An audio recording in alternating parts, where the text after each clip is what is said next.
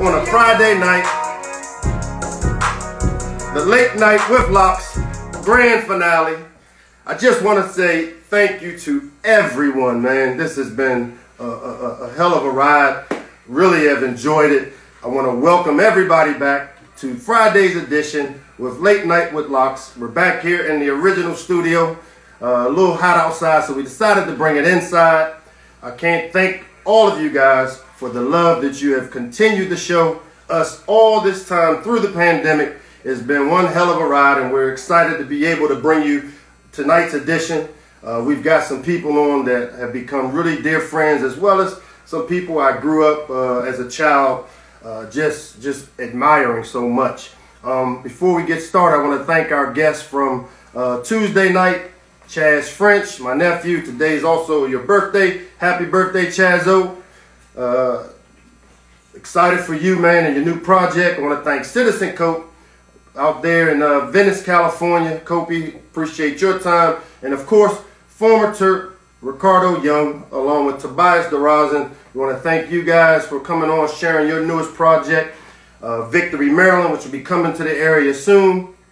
Just want to thank all three of you guys for the show on Tuesday. And as always, we want to continue to thank our frontline workers who have just done a tremendous job helping us work through the pandemic, uh, putting their lives on the line for us to be able to continue to do what we do. We can't thank you enough.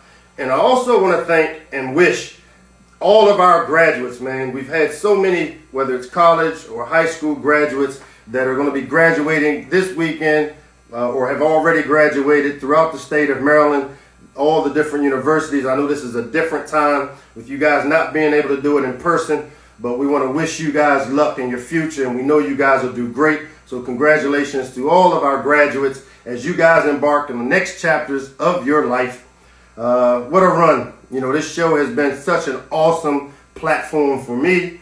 Uh, it's been a way to get my mind off of all the things that have been going on with the pandemic but also been a great opportunity to reconnect with all things DMV, all things DC, all things Terps, all things Maryland, you name it, man. This show has done a lot for me and it's really been great to do. Um, but I'm ready to get started uh, with the star-studded cast. Uh, you know, this first guest, man, uh, is somebody that I'm fanboying again. I had Cal Ripken on a week, couple weeks ago, uh, but this guy is a guy that I grew up he put DC boxing on the scenes. Uh, he was a, eight, a 76 Olympic gold medalist, brought the gold home uh, for us. Uh, he won world titles in five different weight classes uh, and is the undisputed welterweight title uh, holder of all time. Uh, a member of the Fab Four, being a part of those great battles against some of the top fighters, Duran, Hearns, Hagler, you name it. Uh, the first boxer to earn more than versus the 1980 boxer of the decade. And you know, I had a chance to see a few of his fights. Uh, I couldn't. Say, I could say a lot more about this guy, but I got to stop because he's on. Let's welcome Sugar Ray Leonard. What's happening? What's happening, champ? All right. How you doing, man? Uh, I'm doing great, man. You have no idea how excited I am to be able to have you on late night with Locks. Uh, man, as a kid growing up, having an opportunity just to, to see your just what you did for this community, winning the gold, uh, it back to the DC, Maryland area. Had a chance to watch you as a kid when you were training over at the Sheraton in New Carrollton. Uh, that's how far we go back. But what's been going on in your life with this pandemic? How things been treating you? Ben, it's been a challenge. It's been uh, an opportunity to be with my family and, and I was gonna say friends, but no friends have been around me. But it's just been a weird thing, man. It, you know, life life is so challenging. Right. Um, no matter what your platform is. But you know what? We'll be okay. I'm an optimist by nature.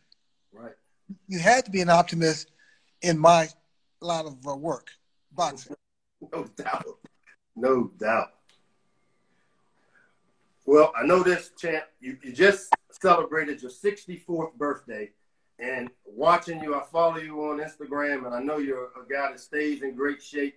You know, I just saw Mike Tyson on his Instagram hitting the body bag, and and, and, and looking at you being in great shape, what's the chances we're gonna see Ray Leonard get back into the ring and give us a three minute shadow boxing uh, tutorial? Any chances of that, champ? Just show people how to shadow box, or actually. No, just a little workout. Just just the old fashioned. You used to get in the ring, man. It was like art. It was like art watching you work. I can I can do that. Just you hit the bag and, and jumping rope and road work and what have you. But I'm telling you something. No one's gonna ever hit my face again. Maybe my wife. But uh, the only way I will get back into the ring is that uh, I ch- you, ch- you know you challenge me. Uh oh. Mm. Hey, okay. I, I don't know if you saw my video. I hit the heavy bag in my little teaser that you were coming on here, and I had a few combinations, but uh, I, I, don't think I'm ready to get in the ring with you with, with the champ, man. But what are you doing to stay in shape? Because you look good, man. At 64, what, what things are you doing to keep yourself in such great shape and condition?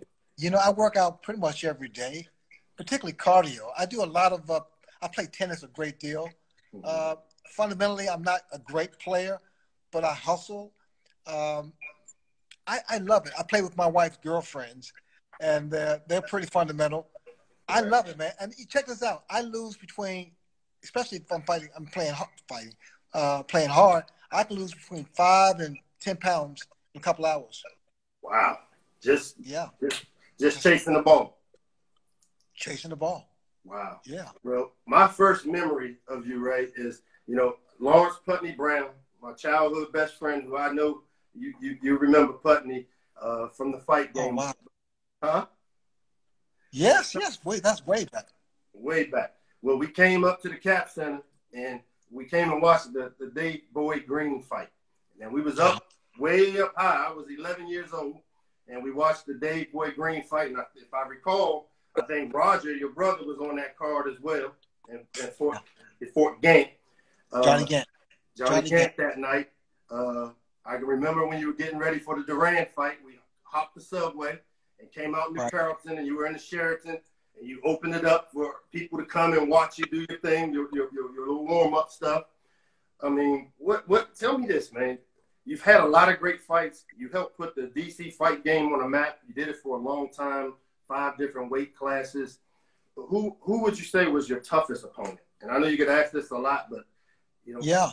And it's you know it's hard to answer that question because justifiably it's hard to answer that question because fighting Roberto Duran, who they call Manos de Piedras, hands of stone. Yeah. That guy hit me so hard. I look, I turned around and said, "Who else is in this ring?" Fighting Wilfred Benitez, my first title. He was tough. He he, he became world champion at the tender age of 17. Amazing, amazing talent. Uh, Tommy Hearns. Oh, I mean, just just just a killer, man. He unbelievable. And Marvin Hagler. I mean, Marvin Hagler, without question, one of the greatest middleweight fighters out there, champions. I mean, so I can't say which one. Right. Uh, because they all were tough, man. They all had their own significance. They all, I mean, each one of those guys took me to the limit. No question about that. Right. Well, growing up in the D.C. area, uh, being a boxing fan, which fighters did you look up to as you started climbing? I know you went obviously fought in the Olympics, but who were the fighters that, that back Ray Leonard looked up to? Who's that? Back home, back in DC, naturally my brother Roger right. and Johnny Gant. Right. I yeah, love Johnny Gant. Yeah, Johnny Gant. Johnny, you know, Johnny didn't get his. He was such an incredible boxer, but he never. He came along at a time that he didn't get his. He didn't get what he deserved. Like most fighters, they don't get what they deserve because uh, each year, each generation, uh, with the Olympics, the exposure from the Olympics was a was a huge asset to me. I mean, boxing was on network television, ABC, CBS, NBC. Right. So people knew who I was. Got it. Well, I know this doing some research, and I know you grew up in the Palmer Park area. Uh, being the head football coach at Maryland, I remember reading an article about that maybe after you got done boxing, you talked about maybe attending the University of Maryland. Growing up, did you grow up watching Maryland athletics, Maryland sports, going to Cole Fieldhouse for any of the games? What did you do outside of boxing as a kid? You play other sports? Nope, nope. I was a shy kid. I was not athletically inclined, or I was not gifted with any any particular uh, assets. Boxing was a sport that I tried out like back in uh, God, I was like nine years old back in Washington D.C. Number two boys club. Number two. And the kid hit me in the nose. I quit that same day. Okay. I came back when I came to Palmer Park, Maryland. I put the gloves back on again, and I I found boxing. Boxing found me, or we found each other. It was inevitable that I became a boxer for some reason. Well, I know this. I know this champion. Before I let you go, you do a lot of great things in the community. You know, talk to us a little bit about your foundation, the Sugar Ray Leonard Foundation. I know you and your wife founded in 2009 to bring awareness uh, to type 1 and type 2 diabetes research. What things are you doing in that in that arena now? You know what we do? We, we do what we do best. Uh, we put on this annual boxing event uh, hosted, actually, Oscar De La Hoya and Golden Boy Promotions. Right. They provide the entertainment, the fighters. And we just generate money and awareness that goes towards type 1, type 2 diabetes, Children's Hospital Los Angeles. It's about giving back, man. I'm a blessed man as a fighter. I've been in the ring almost 50 years, so and have come out somewhat unscathed. I'm okay. I'm giving back. Got it. Well, man, uh, champ, you made my day. I didn't think we were going to be able to get this to happen before. This is my last show, and I yeah. told somebody asked me who would be your dream guest, and I said, man, I'd love to get Ray on here because he has no idea as a, I grew up with the number four Police Boys and Girls Club in mm-hmm. boxing and the Ham AC Club, Ham James Harris and, yes, and Mark yes. Mark Johnson, Too Sharp. All those guys grew up in my neighborhood. Uh, so the fight game, man, every time and any time we got, man, we went and watched you on closed circuit TV over at the stadium. I remember staying up late watching that Benitez. That's when y'all used to fight a, a lot of rounds. Exactly. But also, you you never respond. You didn't really respond to whether or not you was gonna make a comeback with me. you know what, Ray? Uh, if you end up in Maryland, and I hear that you, I hear you got a, I hear you got a grandson that might be a decent little football player. So there's a chance that uh, you may end up out this way. Maybe we can. It has to be shadow boxing. It I'll call you, man. I'll call you, man. Please do. Please Love do. Champ, I appreciate you for coming on, man. You made my day, man. You made the show good luck, stay healthy, and we'll catch up soon. All right, man. Thanks. Take, take Thank care. you so much. All right, buddy. Sugar Ray Leonard, man, you guys have no idea. Between him and Cal Ripken, this show for me, uh, I've, I've had I've had my full. Not to say that our next two guests are chopped liver, because I'm super, super, super excited to bring on my next guest, uh, a person that I had a chance to. I actually I guess you would call it Instagram bomber. Uh, I was up late one night and just going through Instagram, and I saw that uh, Champion was on Instagram Live, and I uh, hit the button, and she just happened to be just taking random people on and answering questions and having conversation. And I thought it was a unique idea, being as though I was doing this show. I said, well, maybe I can get on and convince her to come on my show. Uh, she had no idea who I was, had no clue what I did for a living. So just goes to show you, man, what the type of person she is. Um, again, I mean, a lot of you guys will know her from ESPN. Uh, she's a native Californian. Um, she was a writer for the Daily Bruin at UCLA. Uh, graduated with a degree in English, English and mass communications, and we've seen her on the Tennis Channel, uh, with, uh, she's been with Stephen A. Skip Bayless on First Take, Sports Nation, all across the ESPN platform. Uh, former anchor of Sports Center, now she's kind of ventured off into another another show. Uh, but most of you guys are just going to have an opportunity to meet somebody that's really good at what she does. Uh, we're going to try to get Cari Champion on as we wait for her to come on. We're going to, uh, as we wait for her to come on, thank you. What? Beer's telling me what to do behind. I can't see her. It's dark in here. As we wait for her to come on, we'll try to maybe get to some questions because I know that uh, that she's going to uh, be coming here in just a second. Um, let's go to some of the questions that maybe we have not answered. Uh, what am I going to do now that the show is over? Now that this show is over, man, what am I going to do? Uh, you know what? I'm hoping that June 1st we maybe are able to start doing some football things per the NCAA. But uh, it's time for me to get back in the football coach mode and uh, do the things and have our team prepared in case we're able to play the great game of football. Man, I hope you. I hope you're not driving and and, and, and FaceTiming and Instagram and all you care. Uh uh no, I'm not. My hands are free. I'm not driving. I parked. That's awesome. Well, look, I just gave you a 20, 30 second introduction, and I was telling the story how I uh, Instagram live bombed you. Oh and, yes, uh, I loved it. I loved it. And, and I thought I said I'm gonna use this to try to see if I can get her on our show. I've had opportunities to see uh, you know your work on ESPN, all the great things you're doing. Now you're doing a new show. Uh, mm-hmm. What's been up, and what have you been doing? Obviously, during the quarantine. Okay, so first off, I'm so happy to be on your show. Did I miss Sugar Ray Leonard? Yes, you just missed the champ. What did he say? What did he say? I'm cleaning my clean. All what did he say? He, he, he asked me or challenged me to the ring. Oh. I think this might have been the first time I backed down from a fight. I, I know don't, I you can, you can take him. I normally don't run from fights, but that's the champ. You know, I grew up. He grew up in the D.C. area. I grew up a great fan of Ray, so I, I didn't want any parts of being in the ring with Ray. I so think that you, you would have. I think you would have been able to win. I've been up to. Can I tell you what's going on? The reason why you because I'm I have been a little busy this week with the premiere of the show, and I wanted to be on your show so bad that even though I have to drive to my friend's house in Palm Springs because she's doing something for a little girl, I was like, I'm pulling over so I could talk to him. So no matter what is happening, I am going to talk to you on your show because it took me forever. So I'm safe. I'm parked. No, it's it's perfect. And so that was why I'm in my car. Normally I'd be at home. Secondly, what I've been up to, I'm busy. I have so much going on. You know, I'm getting a new show on Vice with with with one of our former ESPN colleagues that's coming out in July. I haven't told anybody. That's breaking news right here for you. I, I saved it for you. Late yes. night with locks. Breaking news.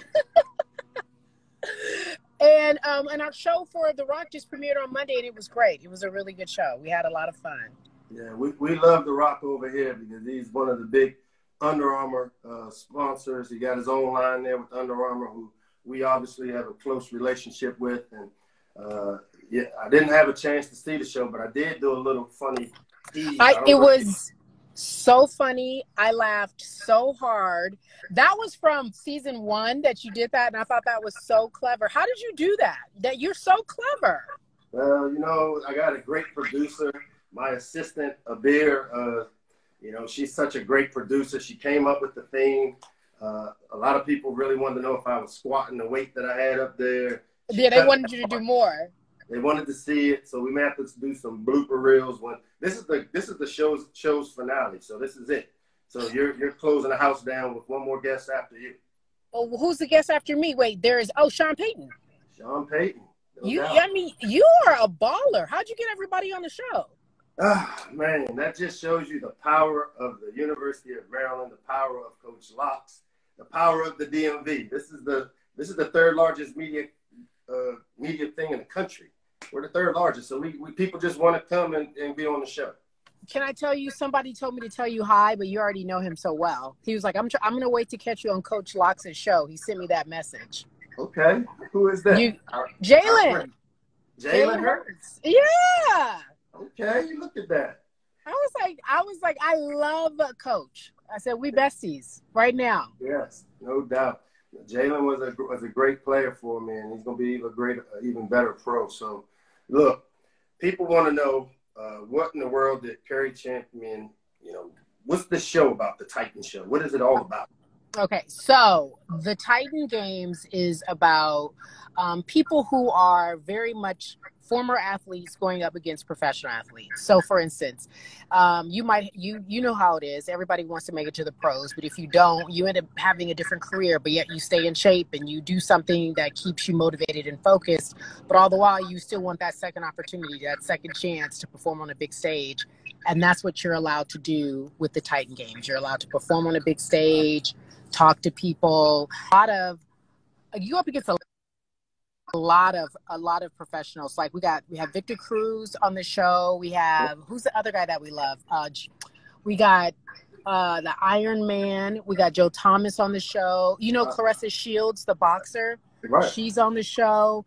I mean, I'm telling you, everybody's on the show, and they're battling these really tough former athletes, and it's a great. I mean, it's good. It's it's fun. It's a lot of fun, and you get to see DJ in a better in, in a better light. You can see The Rock in a better light. I'm looking forward to checking it out.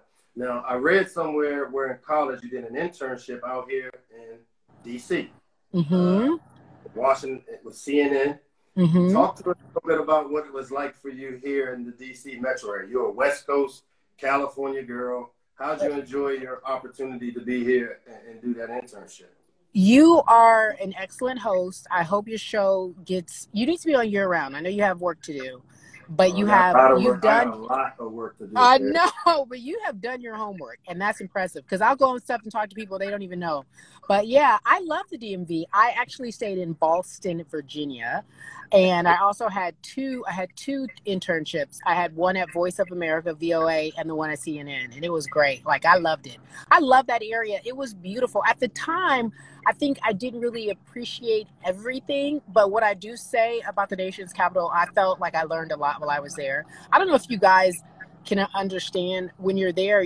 I mean, it's a lot of history. I mean, you have all the museums, you have the Smithsonian, you can go places, you learn a lot.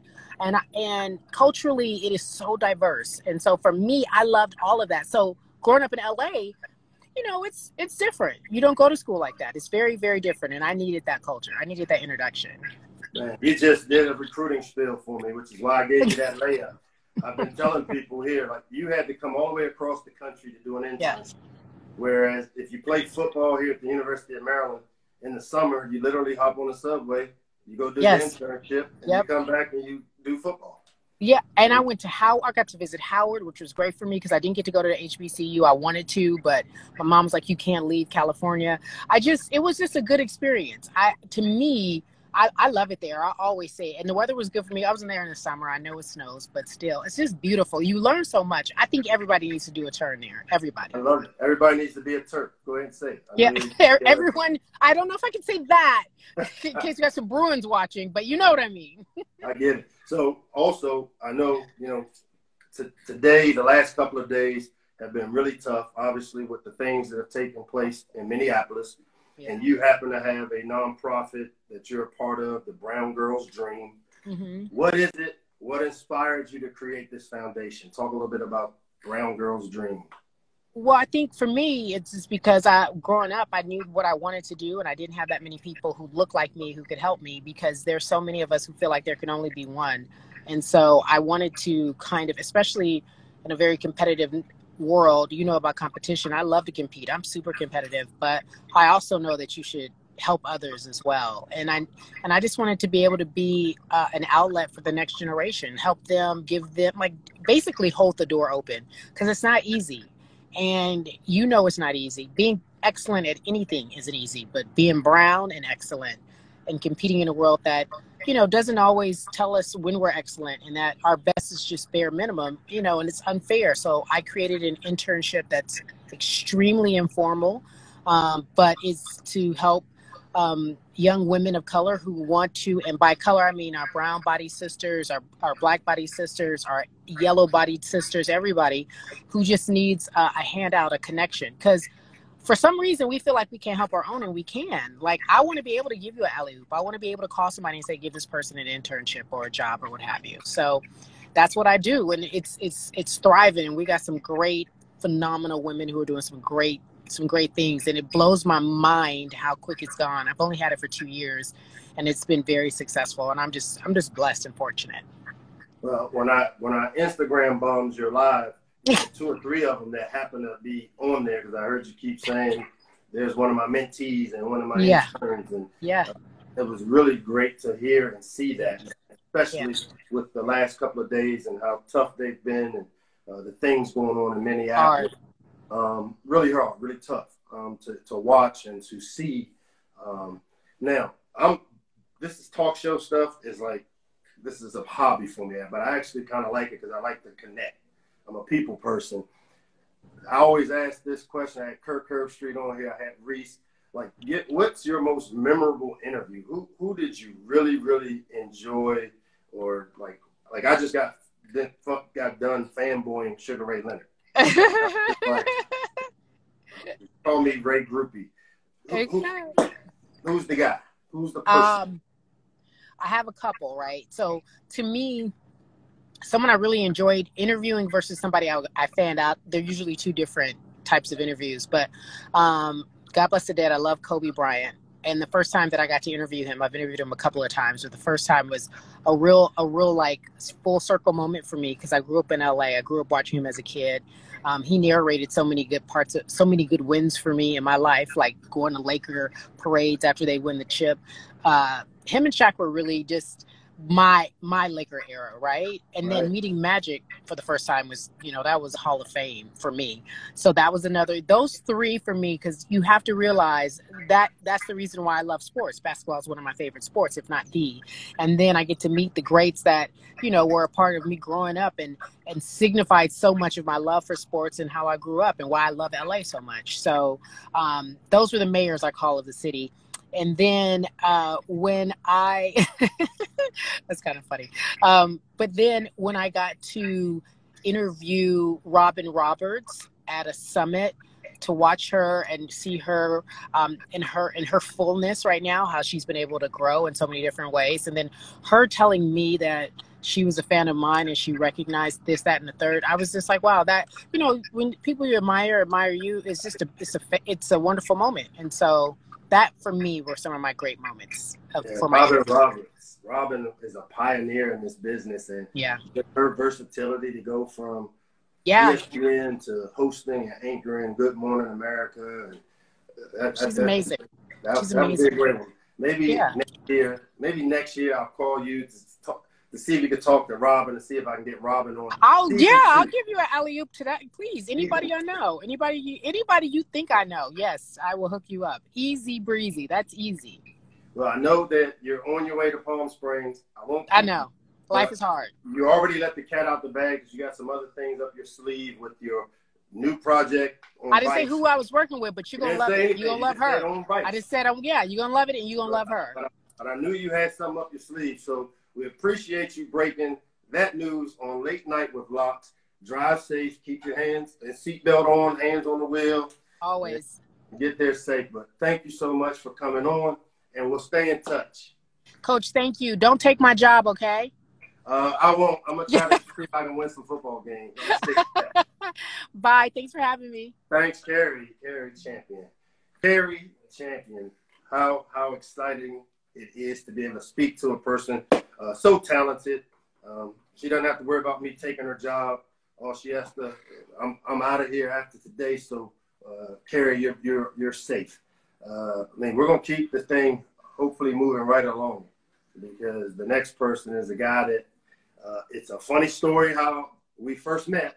And I'm going to wait till he comes on to, uh, to talk about it. But I'm excited to bring him on. Former quarterback of the Eastern Illinois Panthers played both in the Arena League, the CFL, and the NFL, as he likes to call himself, a spare bear uh, during the strike season uh, for Chicago. Uh, he was the 2006 Coach of the Year in his first year with the Saints. Took his team to Super Bowl 44 and won in 2010. The leader of the Saints, Sean Payton. What's happening with you, Sean?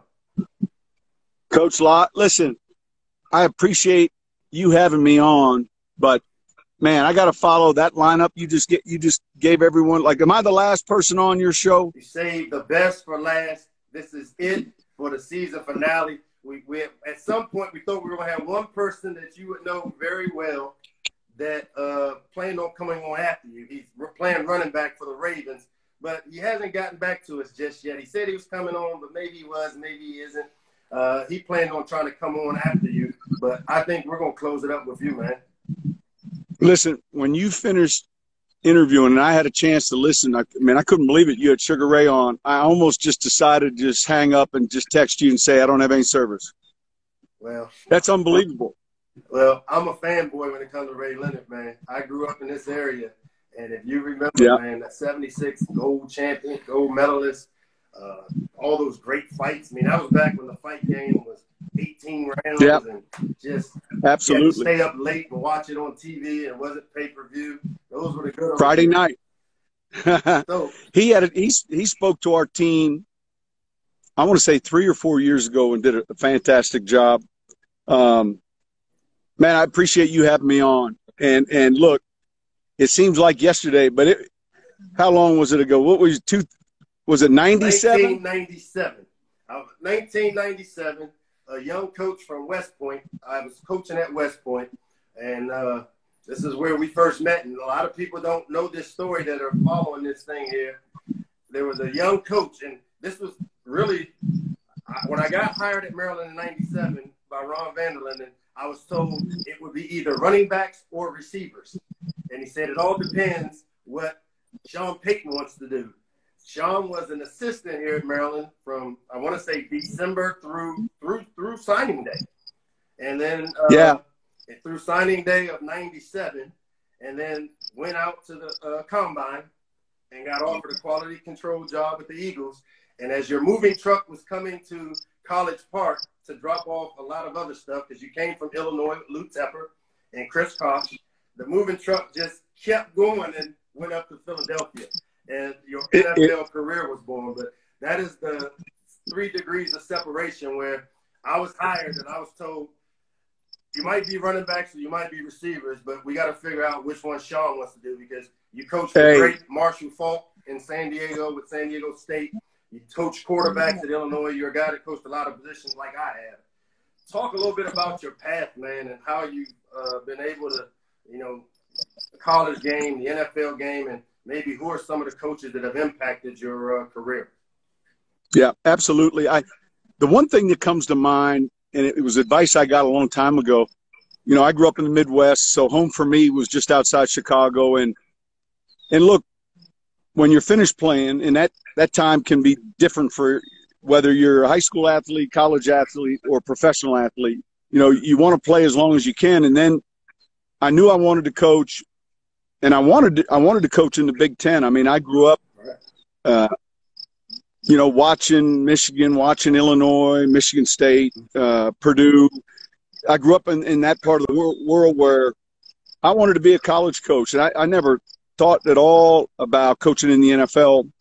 And so for me, much like many of us, you know, you go out and get a graduate assistant position, you go to clinics, you hustle, hustle. You're you're you're you're you're constantly trying to visit a high school, a college. Uh, you're trying to two things. You're trying to learn more about the game, and then number two, you're trying to meet people that you can make an impression with. That someday, maybe not that day, but down the road, it'll mean something. And yeah, I started as a graduate assistant at San Diego State, then went to Indiana State, which was that was my first full time job. So that's the first time I had health insurance. I had a, a little courtesy car. I was recruiting. Had a sycamore leaf on the side of it, so it wasn't real sexy. But anyway, it, it worked. And uh, and then I got hired back to San Diego State full time. Um, went from there to Miami of Ohio for two seasons, and then Illinois, Mike, and and you were just hitting on it.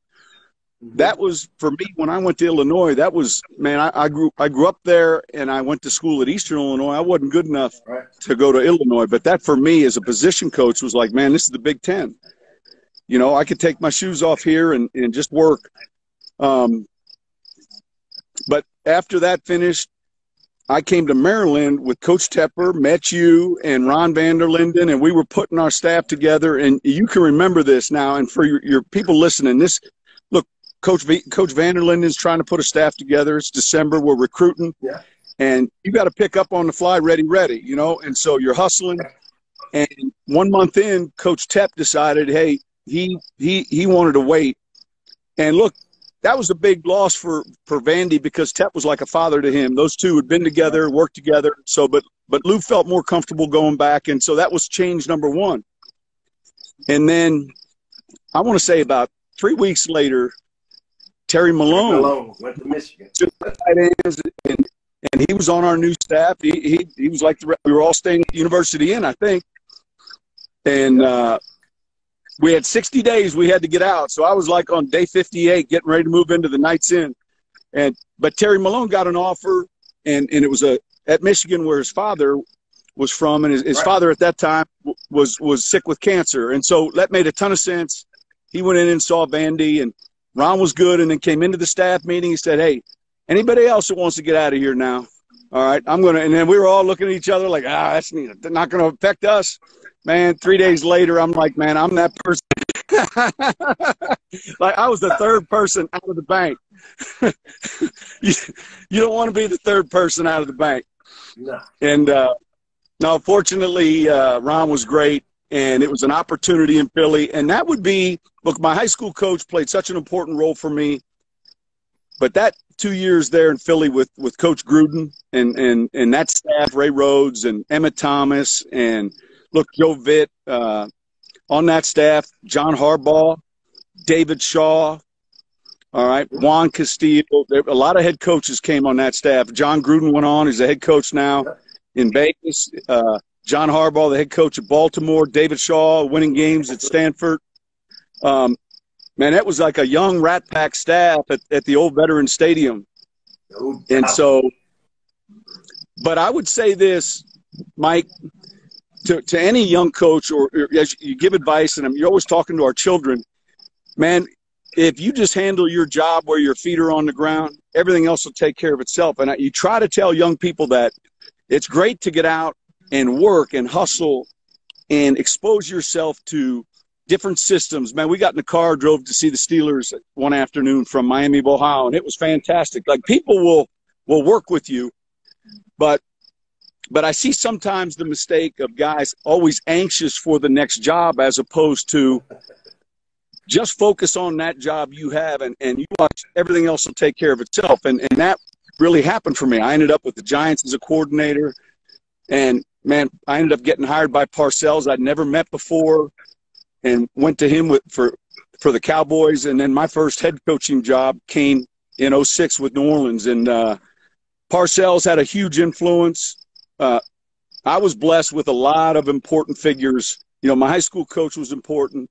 Um, man, Randy Walker, the late Randy Walker at Miami of Ohio, was a, was a fantastic coach. Yes, he was. But being around, you know, just uh, I was exposed, and I think that's another thing: the importance of being around winning, and and you know this, man, the the winner shines, and so even if that level of play is a Division two or one double A school or or what is it now? It's not one double A. It's uh, it's not BCS. What's the other one?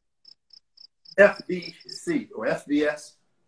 F, yeah, if you're or if you're winning, I'm sorry, FCS. Those people hiring want to hire winners, and uh, and you know that. And so, I was fortunate. There's there's some good luck along that on the way, um, but I think that look, every one of us has got a journey. We've sold houses, we've moved families. When when I was with you, my wife was nine months pregnant at the time. I remember. And and look, that was look, we were all scrambling. I mean, I remember just going up there to Philly, coming back, and you're right when you say the moving truck literally sat in College Park. And I was ready to close on a home, and I had to tell the lady I, I had to get out of the close of the home. I, I I hated that because it was man, it was literally days, not weeks and uh, but I was a Terp. I was there with you, and I've heard so many good things now. Just had a chance to follow your career. I'm on the committee with Mike Tomlin, the competition committee, and I know, man, you're close with him, and and Mike T and I are real close, and, and uh, you're doing a great job there. I appreciate that, man. You know, the thing about the moving truck, if you don't recall, which I do because Doug Mallory and I still stay pretty tight and go on vacation together. It was like three of your guys' houses were all on this truck. And you just happen to have your stuff like maybe in the middle of the truck. You know how they pack three houses on one truck. So yeah, absolutely. It, it, was a, it was a fiasco trying to figure out whose stuff was who because the delivery got kind of screwed up, man.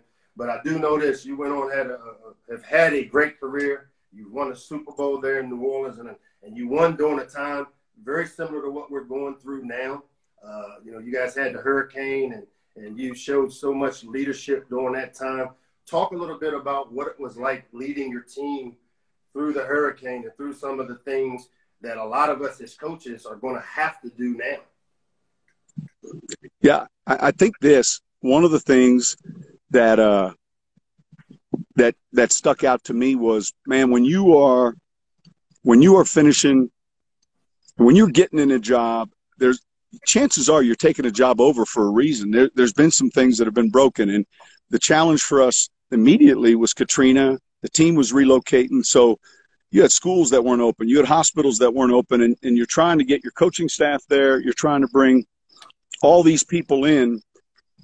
And there came a point where I remember that year on our staff was like, hey, we're not, we're just not going to allow Katrina to be the reason. In other words, we recognized how challenging that was for the reason, region. But man, it was not going to be the reason we weren't successful. And I think that challenge happens, is happening in a different way, Mike. But today, you know, you're trying to get ready. There's a lot of apprehension with your players, families. Right. Uh, our players' families. You and I are in the same position. We're waiting a little bit for guidance. We're waiting for some some uh, answers, some closure here. Yeah, I mean, because it's still it's still uncertain. Right. And yet, you know what though, man, we got to be we got to be able to kick butt regardless of COVID. Right. You, you follow me? Because no one really is going to care. You, you know, and the good news is everybody in your conference on your schedule's got to deal with. It. Everybody on our schedule's got to deal with it. And so whether there's 10 people in the crowd or 100,000 people in the crowd, all right, that's, that's not going to be a reason why we're not successful. And so it's kind of keeping focus on the things that we can control. And, and this, we have no control over. Zero. Zero. I read a, I read a quote and I thought it was like old school. I loved it where everybody now is trying to figure out how can we get practices, OTAs, mini camps, whatever. And you say, look, my team, we're going to show up whenever they open up. Just be ready to go play. Has that been your message? Yeah.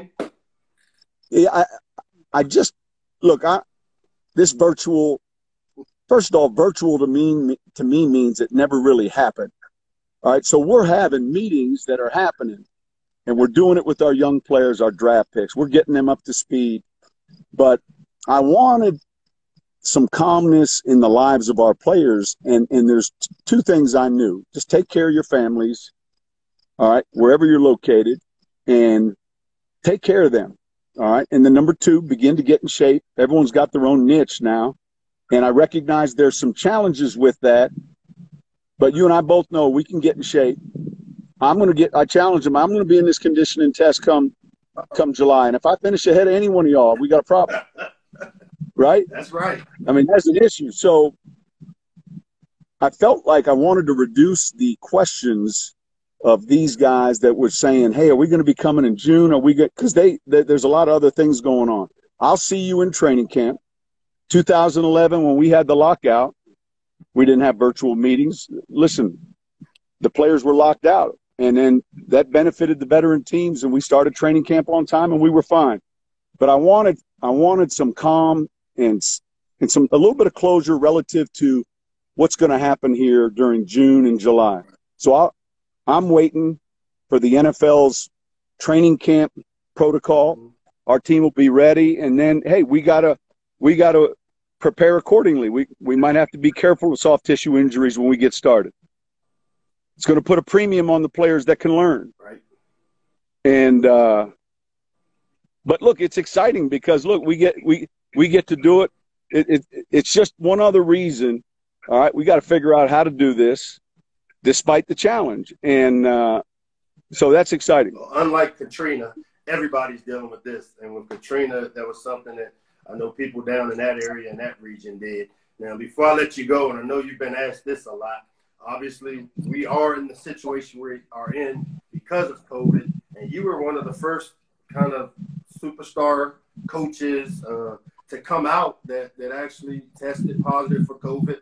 Talk a little bit about what the what that experience was like for you and some of the things you're doing now and obviously of gone through it to kind of help educate people. Yeah. Look, real early, probably first week of March, I had some symptoms and talked with our team doctor. I, I didn't have any respiratory issues. I didn't have any uh, fever really. I had the I had kind of you feel like when you have a normal flu. I had the chills. You know, you get up and you want to get back into bed, and and so shortly after I got a test, and and by the time it came back, back then it was taking four days to get a test back. I was already beginning to feel better, so I was fortunate to have had it, to have had it in in March, and then recover quarantine for two weeks, even longer than that. And then two weeks ago, I started giving blood plasma, which is a whole nother, it's a process because you've got the antibodies that they're able to take that and, and give it to those COVID patients that are in, in, in dire need. So, um, to some degree, it, it, it, it, it I'm not going to say it was a blessing, but it, it all of a sudden, it's like you had it. Now, don't get me wrong. The first time I was out, call it easily 27, 28 days free. I'm at a subway in Mobile, and I kind of look. There's a few people in there, and they looked at Mike, you know, and it's not that look like they know it's the coach, but there was more than that. so I had to address the elephant in the room, and I said, "Look, I'm okay. You want my temperature? I'm the, I'm the safest person in here right now." So I kind of feel like I'm past that a little bit. so people, now people now are not afraid of, of being next to you. Yeah, but but it, listen, for a little bit though, it was kind of like, man, if I got a booger in my nose or something, just getting that funny look. now here's the last thing, and I'm gonna let you go because you look like you might be ready to hit some golf balls. You know, I, I, I know there's some people. I read something about you being one of the first jump man coaches, man. A jump man coach, Nate. We've got players that are jump that, that have signed to the Jordan brand and you I saw the ones you had on in the uh, at the draft. You had the uh, the the the, uh, the, the zeros or the elevens on in one of those. Deals. Yeah. And how does that come about? How does a coach become a jump man coach? Listen, Mike Thomas, our receiver, is with is with the Jordan brand, and he wears the same size shoe as I do, 13s, and so man, early in his career, he started catching touchdowns, and all of a sudden there'd be a box of shoes on my desk, and I'd say, Mike, where the? He's like, well, you wear the 13s, and I'm like, all right, and so they're comfortable. And then I would remind Mike, look, I was watching Jordan before you were born. I'm from Chicago. I was in college when he was drafted in '84. Like I can remember a lot of what we just saw in this documentary, and yet there were a lot of things you forget. And so years later, I had a chance uh, this past year to go down and, and, become a member of his golf course. And uh, it's a fantastic place in Florida. I met him for the first time, and he made the comment like, "Hey, I see you're you're in Jordan's on game day." And I told him what I just told you. I said, "Hey, Mike Thomas is taking care of me." And then he said, "Look, you're going to be my first. You're going to be my first Jordan coach." And I kind of looked, Mike. Now when you and I'm like, "All right," and I'm thinking, "Yeah, all right, whatever." And then two weeks later, I get a funny email from somewhere I didn't see, and then I get a call from his, his guy, uh, a good friend now, and and sure enough, it's uh, it's happened. But but here's the thing, Mike, and you sent me a picture, and I'm not going to put it up here, but there are some undercover people. There are. There are. You guys, and you know what? I'm, I'm gonna send you all of those Steph Currys all of those Under Armour. We're gonna make you an Under Armour coach. that's what I'm beginning at. So I recognize the rivalry here. all right, I get it. But uh, the importance of your players feeling good about what they're playing in. Yeah. It's a big deal. And the importance of recruiting, and I know you're kicking butt with that, it's a big deal. And so it was all kind of happening right during this documentary, which which is just really uh, timing. But look, he's he's been fantastic to, to meet and get to know, and uh, and his shoes are comfortable. And look, you know, they're they're they're scholarships, so we'll take them. No doubt. Well, we're going. I'm gonna make sure I at least have our people at Under Armour send you some of the Steph Currys and see how you like those. You can try them out. You know, if it'll help my swing, may may be able to help your swing. Yeah. You know, Tom Brady Brady plays in the Under Armour stuff too. So, you know, we, we'll see what we can do. Look, man, I, I, I appreciate this. This this is you you're now officially forgiven for taking Corey Robinson. You've uh you, you paid your you paid your debt to me by coming on. It was great catching up with you. I used to be able to run into you at the coaches convention, but you, you don't come to that very often anymore because you, you're out golfing a lot probably. But man, I appreciate you coming on. I wish you luck in your season as you guys start your preparation. Hopefully, here in the next coming uh, month or two. And again, if you need anything up here in the DMV, please don't hesitate to reach out, man. I will, Mike. Thank you for having me on too. I appreciate no it. Good luck to your team. Appreciate it, Sean. Sean Payton, man, Super Bowl winning coach. Uh, another great friend, a guy that uh, has done an awful lot in, in his career. about the untold story of how he was a Terp assistant? A lot of people don't know and understand that he spent a month and a half here. He actually played a part in recruiting Lamont Jordan to come being a Terp. Uh, and I had to I had to wait for him to decide if he wanted to coach running backs or receivers uh, when I was hired. So uh, I took second to Sean Payton and had to pick there. But look, thank you guys for all the love on Late Night with Locks. This was a great season finale. Uh, the show has been amazing. This thing, as I said before, started out as an idea uh, with our staff and a way to stay relevant while we had everybody's attention on the University of Maryland, uh, all things DMV, all things Maryland, all things Coach Locks. And it what really shows you the power of the Maryland brand and the power of being here. You heard Cari Champion talk about the location and how a lot of us take it for granted living right here in the most powerful city in the world so many opportunities here. Um, I want to thank all of our guests for making the time. I always tell people time is our most valuable commodity. And when people give you their time, they're giving you something of great value. So I want to thank you guys for making the show such a success. You're the reason people came on.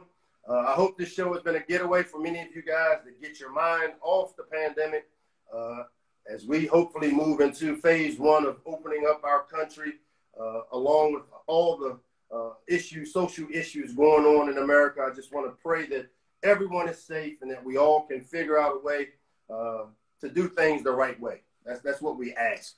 Do things the right way. Um, I hope this show has been a getaway for you. Continue to be safe. Practice good social distancing. Follow the protocols that are in place. We don't want this thing to come back and have to do this again. I promise you, I don't want to have to do late night with locks in June, July, or August because we're not practicing good social distancing. Um, so follow the guidelines. Thank you. And locks is out. Dropping the mic.